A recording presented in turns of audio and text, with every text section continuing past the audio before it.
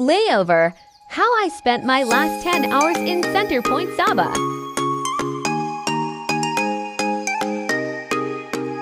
First, I stored away my luggage 10 Malaysian ringgits for a medium sized locker located at ground floor.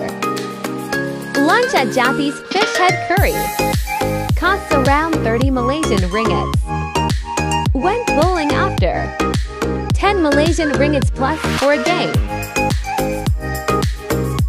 A manicure and pedicure for 40 Malaysian ringgits. Had a relaxing foot massage at Jasmine for 85 Malaysian ringgits. Sauntered at KK Waterfront for free. Dinner at my Yoi Thai Orchid restaurant.